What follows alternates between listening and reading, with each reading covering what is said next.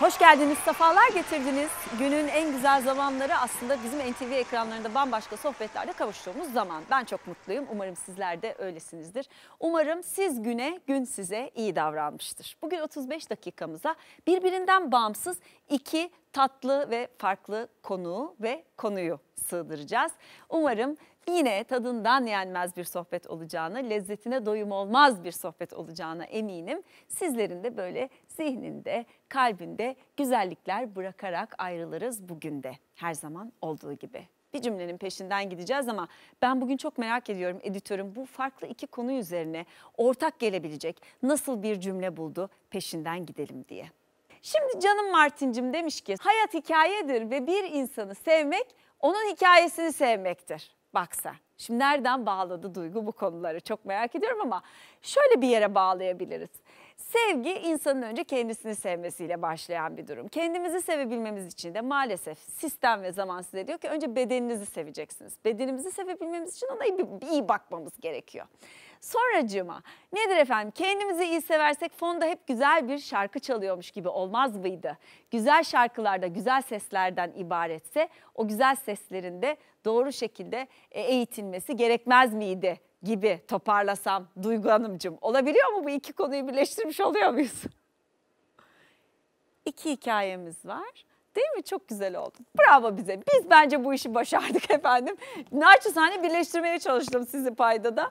Buluşturduğumu düşünüyorum. Sevgili Günay Acar, opera sanatçısı ve sevgili Profesör Doktor Bora Koç, obezite cerrahisi uzmanı. Hoş geldiniz, sefalar getirdiniz. Hoş bulduk. Nasılsınız? Çok mersi. Sizler de iyisiniz. İyi, sağ olun. Çok güzel görünüyorsunuz bu arada. Teşekkürler sizler de öyle. Şimdi tabii sizin yanınızda obezite konuşacağız biraz ama sizin herhalde hiç böyle telaşlarınız, e, tedirginlikleriniz ve sorunlarınız olmadı. Oluyor oluyor. Olmuyor Nasıl demeyelim.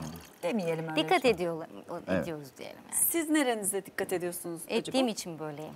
Bu da güzel bir cevap. Mesela etmeseniz sizce kilo alır mıydınız? Yani evet. Alır mıydınız? Yani çok almam. Yapı itibari biraz üst kısım dar, alt kısım genişleme bir meyilim var. Tamam. O da işte onu bildiğim için de ona göre hareket ediyorum diye. Peki e, Bora Beyciğim obezite, afiyet olsun efendim. Obezite dikkat edilirse başımıza gelmeyecek bir şey midir yoksa bir kader midir? Ya aslında kontrol edilebilir bir problem ama tabii genetik olarak yatkınlığınız varsa bunu kontrol edebilmeniz biraz daha zor oluyor. Yani annem, babam, anneannem, babaannem Evet. varsa bir obezite Evet, hikayesi ailede bu geçik- bende olabilir mi? Evet, ihtimal olarak yükseksiniz. O yüzden daha fazla kontrol etmeniz gerekir. Obezite geniniz olabilir, aileden almış olabilirsiniz. Ama siz eğer kendinizi bu hastalığa karşı kontrol altına alabilir, kalori balansınızı dengeleyebilir, sosyal olarak bir beslenme programı içine girebilirseniz ve bunu uzun dönemde başarabilirseniz tabii ki de kilolu olmayacağınızı garanti edebilirsiniz. Burada cerrahi meselesi devreye giriyor. Evet eğer kontrol edemediğimiz zaman ve bunu ameliyat dışı yöntemlerle de tedavi edildiğinde bunu başaramadığımız zaman ne yazık ki obezitenin bizlerde oluşturduğu hastalıkları kontrol altına alabilmemiz için cerrahi yöntemlere bakın ne yazık ki diyorum cerrahi yöntemlere ihtiyaç duyuyoruz. Maalesef. Güney Hanımcığım nasılsınız? Çok. Teşekkürler. Burada olduğum için çok mutluyum. Sizinle birlikte olduğum için çok Yaşasın. mutluyum. Zaten her zaman bayılarak, severek izliyorum. Çok teşekkür ederim. Yani Sağ olun. çok davetiniz için de teşekkür ediyorum. Estağfurullah. Şimdi tabii sizi niye davet ettik? Bu çok önemli bir şey. Zaten eserleriniz var. Ee, tabii ki bunları da konuşuyor olacağız ama benim mesela en çok ilgimi çeken şey şu sizinle ilgili. Opera sanatçısınız, sopranosunuz. Ama aynı zamanda da sevdiğimiz birçok ismin de ses öğretmenliğini, ses hocalığını deniyorum. Ben Aynen. öğretmenin denmesini tercih edeceğim. Ses öğretmenliğini yapıyorsunuz. Ajda Pekkan Evet. gibi değil mi? Gülber Ergen gibi. Yanlış mı biliyorum? Ya Öğrencilerinizi şey, sizden Emel duysam. Sayın, Seyahat Ener ve, ve sayamadığım ismini şimdi ayıp olmasın. Birçok sanatçı dostum ve oyuncu e, arkadaşlarım, ünlü simalarla çalışıyorum diye. Ee, şimdi burada tabii ki aslında duyguyla program başlamadan önce bunu aramızda konuştuk ama bunu size de sormak isterim. Şimdi zaten çok tanınmış ve çok sevilmiş bir ses sanatçısısın diyelim. O saatten sonra ne gerek var öğretmene? Gerçekten gerekli mi dedi Duygu. Tabii ki bence gerekli. Yani çok iyi bir oyuncu olsan da bunun antrenmanına devam ediyor olmak lazım. Yine senden daha iyi olduğuna emin olduğun, Kesinlikle. öğretmenim diyebileceğin biriyle o eğitimi almaya, kendini güncellemeye ve güncellemeye devam ediyor olman Kesinlikle. lazım. Ses sanatçılığında da bu böyle midir? Ben sektörde Ajda Pekkan kadar kendine ve sesine bakan Kesinlikle. bir isim duymadım. Kesinlikle. Mutlaka vardır ama onun namı hepimizde. Hep, hep. Yani her gün şan dersi alınır, her gün spor yapar, her gün kıyafetine kendi karar verir. Böyle bir vizyon ve zaten o yüzden yaşlanmıyor herhalde Yok, diye düşünüyorum. aynen, Hepimizden aynen. genç. Ee, size bir sormak istiyorum bunu o yüzden. Yani disiplin ayakta tutuyor diyelim. Aslında süperstarın e, eşittir disiplin diyebiliriz. Yani ben Ajda çalışmak için ayrıca çok e, onur ve gurur duyuyorum. Düşünsenize ülkemizin çok önemli bir ismi, kı- kıymetlimiz. E, ve kendisi gerçekten ben her zaman söylüyorum işte kendim opera e, eğitimi aldığımda disiplin üzerine bir eğitim aldığım için e, kendisiyle bizim enerjimiz buradan da aslında e, yürüyor olması, devam ediyor olmasının e, nedeni de bu diyebilirim. Çünkü ben de disiplinim, kendisi de aynı şekilde. Dediğimiz gibi e, sanatçı e, kendini koruyabilmek adına, kendini sürekli kondisyonda e, kondisyonunu sağlamak ve sürekli dinamik olabilmek adına e, kendine yatırım yapmalı.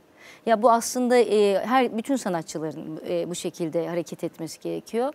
E, Ajda Hanım da dediğim gibi e, tamamen vizyon sahibi ve hani disiplinli, hayata ya işine duyduğu saygıdan ötürü e, çalışmalarına devam ediyor. Benden önce de birçok çalışmaları vardı. Biz de yaklaşık 6 senedir birlikte 6 sene. çalışıyoruz. Her Aynen. gün çalışıyor musunuz gerçekten? Her gün çalışmıyoruz açık konuşayım ama şey e, konser zamanlarımıza yakın yoğun bir tempoda çalışıyoruz. Zaten ben sürekli çalıştığım için haftada bir olsun ya da ne bileyim bir projemiz varsa ondan önce islim üstünde. Zaten sıcak, vücut Tabii. zaten e, kondisyona açık durumda.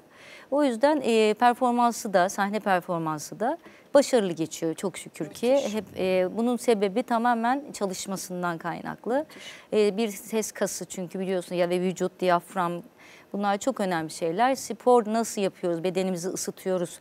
Ya ısıtmadan önce hamlıyorsak Tabii. e, bu da aynı şekilde bir anda yaptığımızda sese zarar yani çözümsüz sorunlarla karşılaşılabilir. Onun için e, ben sesini kullanan e, bütün meslektaşlarıma ses eğitimini tavsiye ediyorum. Sadece şarkıcılar üzerine ve sanatçılar üzerinden Evet, değil. aslında bizim bile oyuncu olarak yapmamız Kesinlikle lazım ki diye çok da çalıştığım oyuncu arkadaşım da Hala var. başlamış değilim. Ben böyle bilmiş bilmiş Bekliyorum. konuşuyorum ama sen yapıyor musun Ceyda? Hayır yapmıyorum tabii ki. Bu da bir benim herhalde tembelliğim olsun. Ee, ama yapmak lazım gerçekten. Bora Bey obezite çok ciddi bir hal aldı dünyada. Amerika'da zaten yani Patlamış yıllardır e, devam ediyor da ediyor. Yani baktığım zaman zaten o beslenme şekline hani Melisa'nın tedavisi için sıklıkla bir dönem Amerika'ya gidiyordum. E, ve gittiğimde ben aç kalıyordum, zayıflayıp dönüyordum. Çünkü onları yiyebilmenin ihtimali yok. Yani satılan o yağlı e, işte fast food dedikleri hızlı tüketilip bitsin istedikleri o yemek zinciri.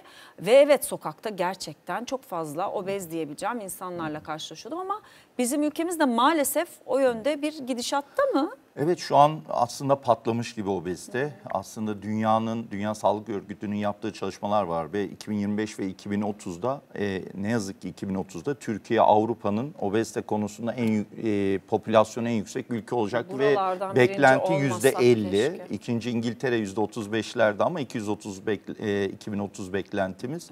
Türkiye'de ne yazık ki yüzde 50. Neden? Ve üzüle, üzüleceğimiz bir şekilde e, yaş grubu oldukça aşağıya iniyor. Bunun nedeni gıdalara karşı biliyorsunuz işte reklamlar, restoranlar vesaire belki de çocuklarımızı yetiştirirken işte ödüllendirme, yüksek kalorili gıdalarla ödüllendirme e, ne yazık ki çocuklarımızda böyle daha erken yaşlarda ülkemizde obeziteyle karşı karşıya kalıyor. İnanın yani benim e, 6 yaşıyla on- 14 yaşında ameliyat bekleyen yaklaşık 150-200 tane hastamız var. Şu an bunlar hani kabul edilemeyecek ölçülerde. Bunları ameliyat süreçleri için bekletiyoruz. Tabii çocuk doktorlarıyla, endokrinologlarla olabildiğince hızı yavaşlatmaya çalışıyoruz ama işte yanlış beslenme programları, işte belki de çocukları ödüllendirme yemeklerle Evet bu yemekle yaşta. Evet. ödüllendirme meselesinden bir kurtulsak her şey çok değişecek. Evet yani biraz tabii şey ülkemiz için artık kalıplaşmış bir şey bu yemekle ödüllendirme.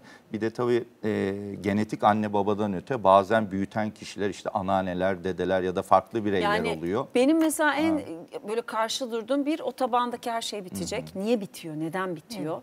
E, Çocuğun midesi ne ki bitsin? İki televizyon ya da işte tablet önü yemek yenmesi. Ne o bir kadar büyük eylem, şuursuzluk yemek yemek bir eylem. Ona Evet. özel olmalı sizin de söylediğiniz gibi. Yani bir şeyin arasında olmamalı o ve ihtiyaç bu. Bir ödüllendirme ya da zevk alma parametresi değil. Ama tabii siz de görüyorsunuz ki hafta sonları işte alışveriş merkezlerine ya da gittiğinizde çocukları sanki hafta içi e, yaşadıkları okul stresinden sonra onları böyle bir e, fast foodlarla ya da farklı şeylerle, e, tatlılarla, yüksek karbonhidrat değeri olan şeylerle ödüllendirmeyi tercih ediliyor. Bu çok üzücü. Bir de Herhalde bu, bu çok acı bir kısır döngü değil mi? Bu kadar şeker yüklenilen, bu kadar karbonhidrat yüklenilen çocuk tabii ki enerjisinin ne yapacağını bilemediği için çok enerjik oluyor.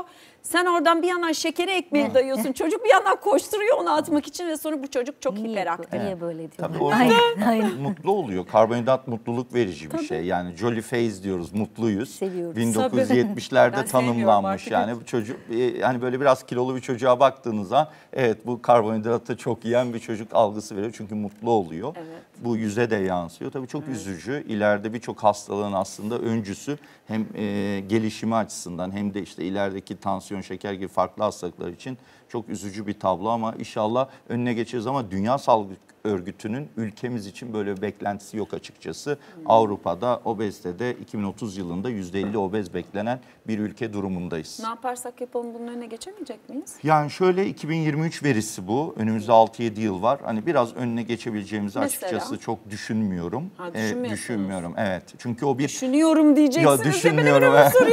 Alıştırılmış bir davranış modeli. Ee, tabii düşünün 5 yıl, 10 yıl, 15 yıl çocuğunuzu bu şekilde yetiştirmişsiniz. Artık onunla ge- önüne geçmek gerçekten çok zor oluyor. Ama belki bir iki nesil sonra bu daha e, kontrollü hale gelebilir. Umarım olur. Beslenmenin sese katkısı nedir? Çok.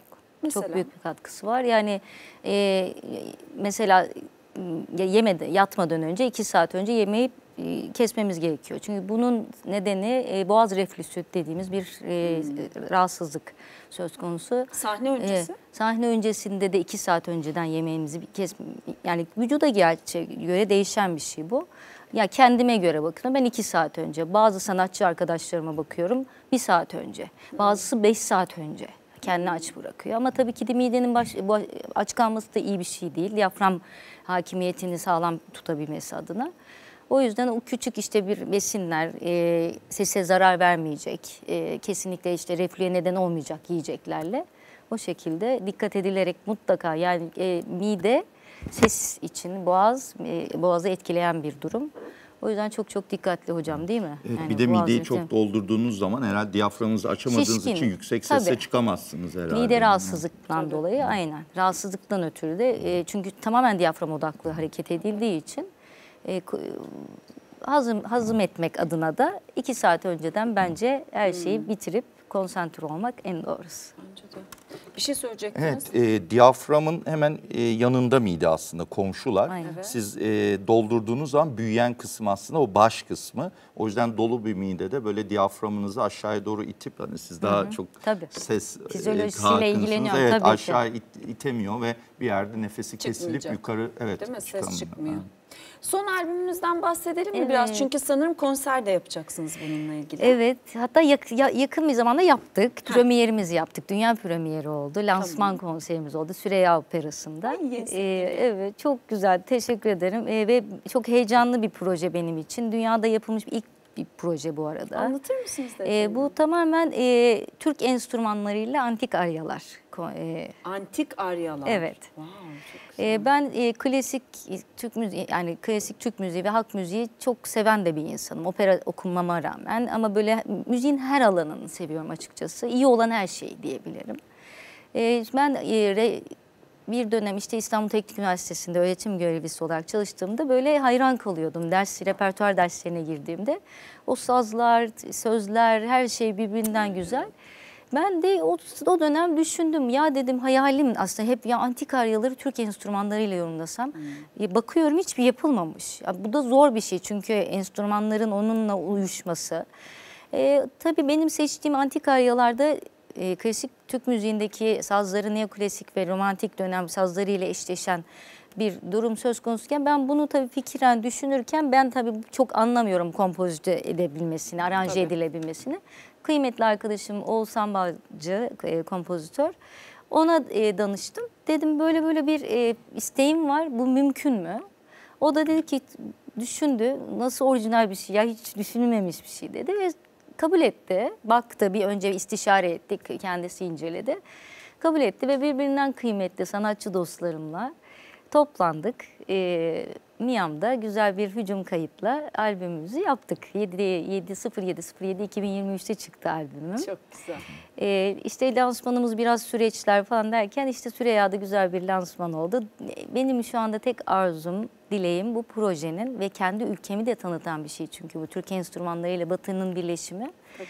Ee, işte kendi ülkem ve e, tüm dünyada e, bunun dolaşmasını temenni ediyorum. diyelim. İnşallah. Şimdi konserler var mı bir sürü? Olacak yaklaşık yeni yakın bir zamanda İzmir Barok günlerinde e, çıkacağız işte kısmetse. Albümün adı ne?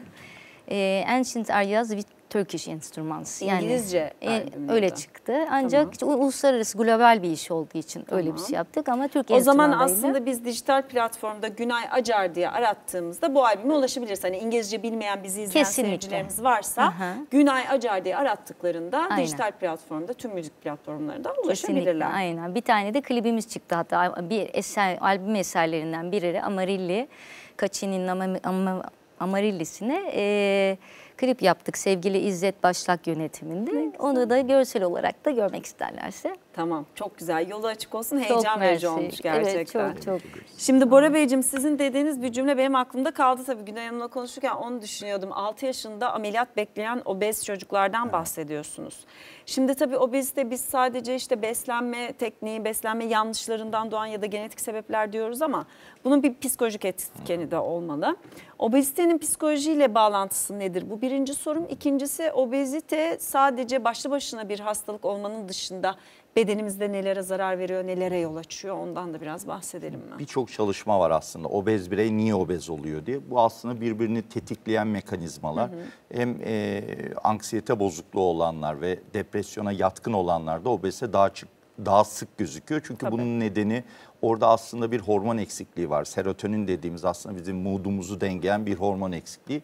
Bu da karbonhidratlarda çok fazla bulunuyor. Aslında sporda da var. Evet, orada Yani evet. Spor yapsan da o hormonu salgılayabilirsin ama birçoğumuz Evet. ye- yiyerek Yemeği tercih ediyoruz. Tabii burada istiyor. bir e, davranış modeli belirleniyor. Yani orada yüksek doza o hormonu çıkarmak için çok hızlı bir şekilde karbonhidratlara karşı yönelim oluyor. Hmm.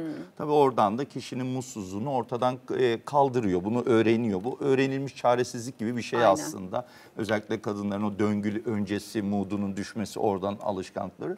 Tabii de çocuk yaş grubunda bir ebeveynleri ya da işte başka birini cezalandırma modeli olabiliyor. Yani yemek yiyerek aslında ailesinin yemek yememesini dikte etmesini, onu yemek yiyerek karşı tarafa ailesinin işte kendisinin bakımıyla ilgilenen kişileri cezalandırma yönüne gidiyor. Zaten bu hastaları biz zayıflatmayı kalıcı yöntemleri, e, kalıcı zayıflatma yöntemleriyle uğraşmaya başladığımızda görüyoruz hastalar bir yere kadar moodunu dengeleyebiliyorlar. Ama ondan sonra majör bir travma yaşadıklarında ameliyat sonrası süreçte ne yazık ki tekrar böyle karbonhidratlara yönelip hani o kadar zayıflamışsınız birçok sağlık probleminiz düzelmiş, moodunuz düzelmiş. Hani mantıklı bir davranış baktığınızda tekrar o yemeğe yönelilmemesi. Ama tabii orada bu ilaç gibi aslında işte moodu düşük olanlarda, depresif olanlarda, anksiyetesi olanlarda, panik bozukluğu olanlarda bunlar bir ilaç ve ne yazık ki işte zayıfladıktan sonra e, herhangi bir travma yaşadığında tekrar ilaçlarına dönebiliyor ki birçok hastada zaten posttraumatik stres bozukluğu dediğimiz işte bir travmadan sonra böyle yüksek e, dozda kaloriye yönelen hastalar oluyor. Tabii biz niye bunları bu hasta grubunu zayıflatmak istiyoruz ya da işte zayıf kalmalarını sağlamaya çalışıyoruz? Çünkü biz artık obezitenin Dünya Sağlık Örgütü'nün de önerdiği üzere 10 tane tedavi edilmesi gereken hastalık grubunda olduğunu biliyoruz. Yani Dünya Sağlık Örgütü 10 tane hastalığı bunları kontrol altına almamız gerekir diyor. Bunlardan biri de obezite. Çünkü obezite kalp ve damar sistemi, işte diyabetle ilgili olan süreç ya da eklem problemleri gibi birçok hastalığa neden oluyor. Bunların önüne geçmek için ileriki yaşlarda kişileri biz zayıflayıp sağlıklı kilolarında kalmak istiyoruz, kaldırmak istiyoruz ama ne yazık ki obezite ameliyatı, ameliyatla tedavi edilebilir bir şey değil. Obezite bir davranış bozukluğu. Biz sadece fazla kiloyu ameliyatla tedavi edebiliyoruz. Eğer siz ameliyatla beraber kişinin bu davranış modelini değiştiremezseniz, işte zayıf kalma felsefesini ona aktaramazsınız ve ilaç olarak karbonhidratları tercih etmesinin önüne geçemezseniz çıktığımız noktaya her zaman geri dönüyoruz. O zaman siz bir uzman olarak bir psikologla birlikte mi çalışıyorsunuz? Evet, yani bir- size ameliyat için gelen bir obezite e, tanısı konmuş bir kişi e, geldiğinde siz psikoloğunuz ve siz mi karşılıyorsunuz Evet. danışanınızı? Şimdi bu şöyle bir şey aslında obezite cerrahisi aslında sonu başa getirmek gibi bir şey düşünebilirsiniz. Ana sorunu tedavi etmiyor. O yüzden ilk önce multidisipliner bir yaklaşımla kişiyi anlamanız lazım. Çünkü herkesin obez olma nedeni farklı. Herkesin yemek yeme nedeni farklı. Bir kere onu algılamanız lazım. Ve ne yediği, niye yediği yeme modelleri kişinin kilo almasına etkiliyor. O yüzden herkese aynı ameliyatı da yapamazsınız. Dünyada kabul görmüş farklı ameliyat yöntemleri var. Bunu hastanın yeme modeline göre belirliyorsunuz. Bunu hastanın algılaması ve ameliyat sonrası da bu beslenme davranış modelini, sosyal modelini değiştirmesi gerekiyor.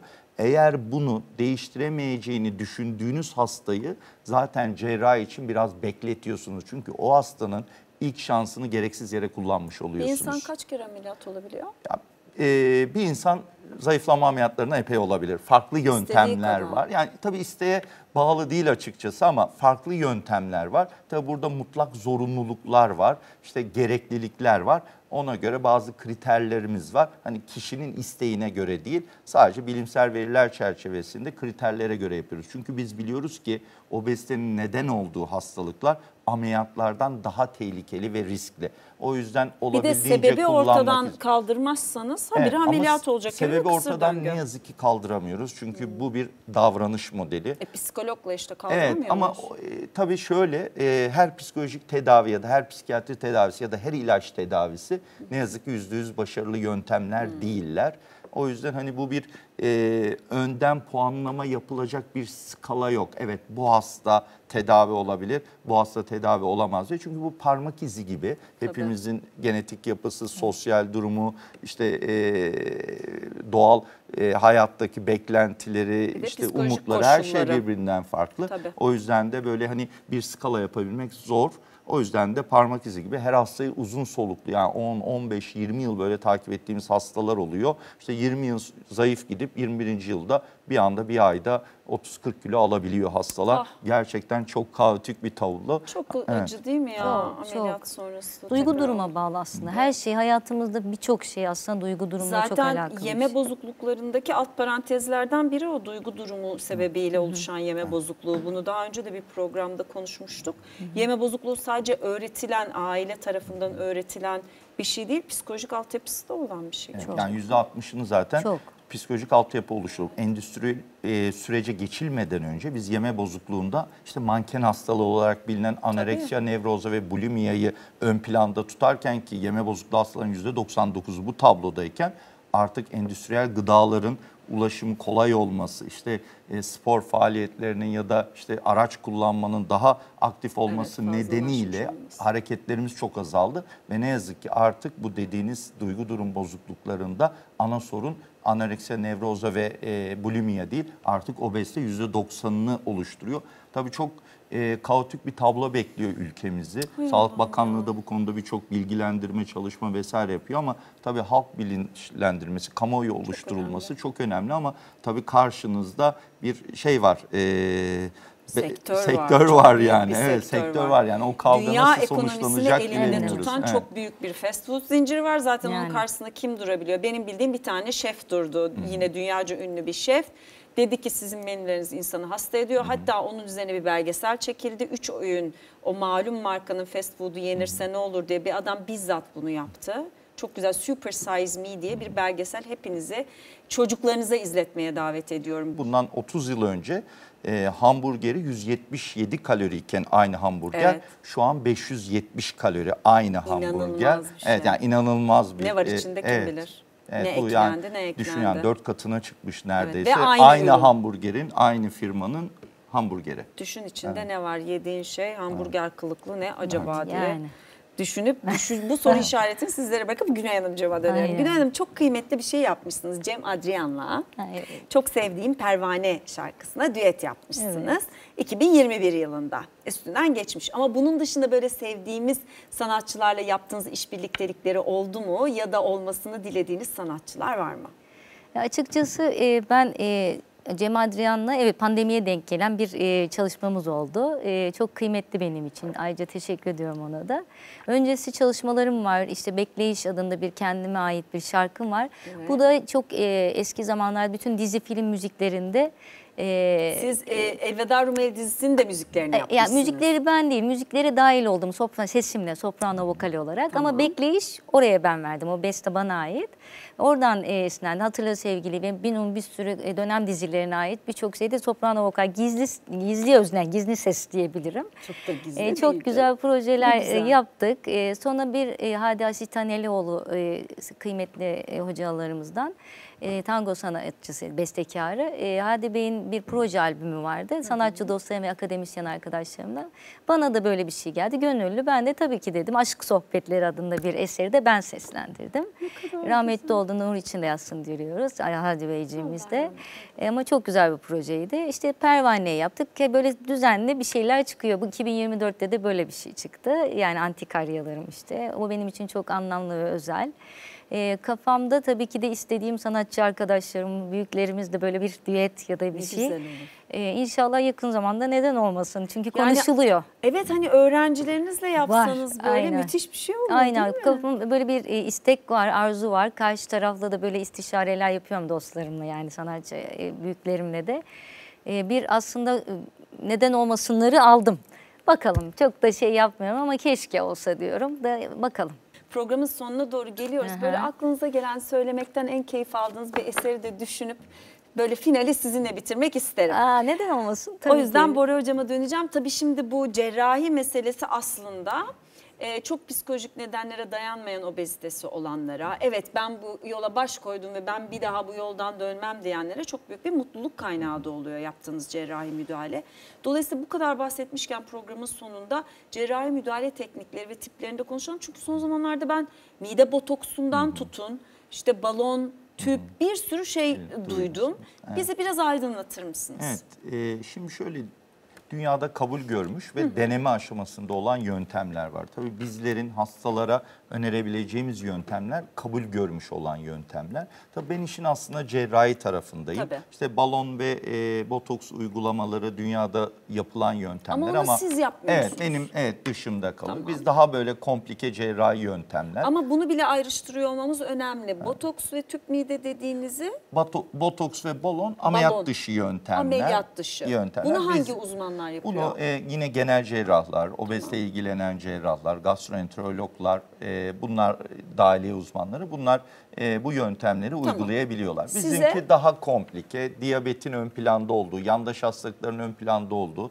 kilonun daha ön planda olduğu bizim dünyada kabul görmüş 7 çeşit ameliyatımız var. Oo, evet, bunlardan biri basında çok duyduğunuz işte tüp mide, mide küçültme, midenin tüp haline getirilmesi. Evet. Diğerleri de daha e, metabolik e, sonuçları ön planda olan bağırsaklarda farklı pozisyonlarda yer değiştirdiğimiz ya da mideyle farklı pozisyonlarda işte geçişler yaptığımız ameliyat yöntemleri. Bu 7 türün yedisinde siz yapıyorsunuz. Evet yedisinde yapıyoruz. Ve Bu- hastanın durumuna göre mi karar Evet veriyorsunuz? hastanın yandaş hastalığı, yaşı, Hmm. beslenme bozukluğu, davran yeme davranış modeli bunlar tabii çok belirleyici. Tabii. Bir de hasta yapabileceği bir şey yapmanız lazım. Yani ona onun için karar verdiğiniz yöntemi hasta uygulayamayacaksa onun hayatını daha koatik hale getirip böyle bir yöntemi yapmamak da lazım. Hani böyle ameliyat, zayıflama ameliyatları ya da işte diyabet ameliyatları bir ameliyattan ibaret değil. İşte onların alt grupları da var. Biraz böyle komplike bir süreç. O yüzden hastalar böyle bir cerrahilere karar verirken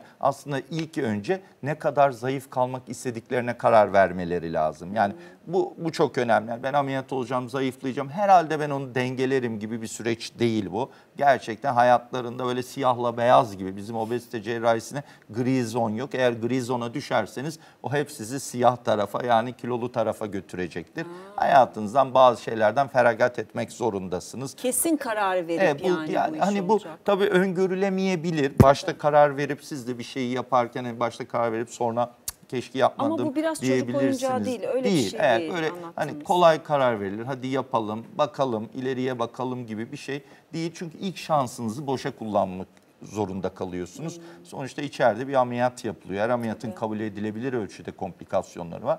O yüzden hastalar böyle hani bir ameliyat olayım da zayıflayayım da bu hallederim gibi bir süreç değil. Daha böyle e, multidisipliner yaklaşan yerleri tercih ederlerse hastalar tabii daha başarılı olacaklardır.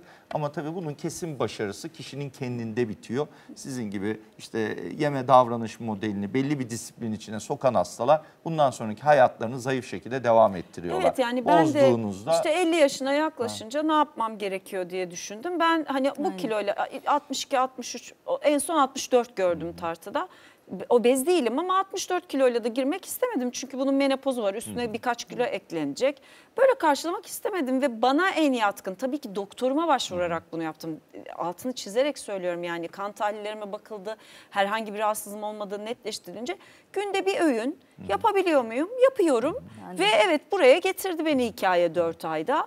Gayet de mutluyum. Aslında herkesin kafasına koyduğu karar ve bedeniyle ilgili de sağlık sorunları doktoruyla konuştuktan sonra alabileceği bir şey ama bu obeziteye örnek değil tabii Evet benimkisi. tabii şimdi şöyle aslında yeni dünyada diyet diye bir şey de yok. Sizin Evet. dediğiniz gibi yapabildiğiniz minimum kaloriyle Evet. ve bunu ketojenik yani karbonhidrat içermeyen Aynen. daha ketojenik ağırlıklı yapabildiğiniz az öğün minimum kaloriyle sizin bedeninize, çalışma şartlarınıza uygun şekilde bunu yaparsanız zaten kilolu olmanız mümkün değil.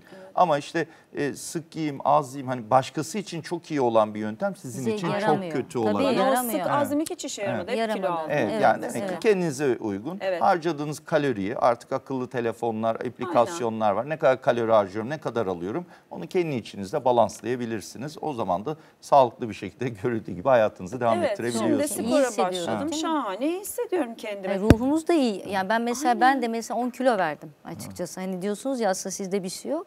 Ama benim bu dediğiniz gibi ben kendim e, minimal yiyerek ben iki öğün yapıyorum. E, çünkü şarkıcı olduğum için hani Tabii, e, bana ihtiyacım olduğu için ama acıkmadığım sürece yemiyorum. Acıkınca gene yiyorum mesela çok açsam. Sonra dikkat Kendimi ediyorsun. böyle hani hep e, hocam demezler mi? Yani fazlası zarar.